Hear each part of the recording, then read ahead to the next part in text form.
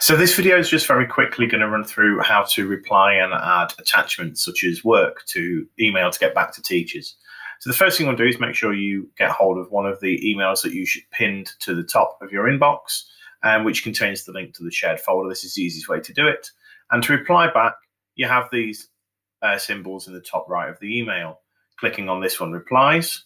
Clicking on this one replies to everybody, and that includes the students. Do not press this one, just the single reply.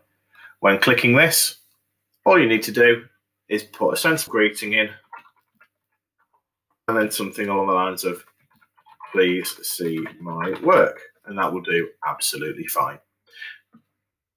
In order to put attachments on, down the bottom here, you have a little paper clip. And very simply, you can pick a document here, browse the computer, a cloud location such as OneDrive, or you can upload work and share. And there's also a picture here for putting in pictures from online.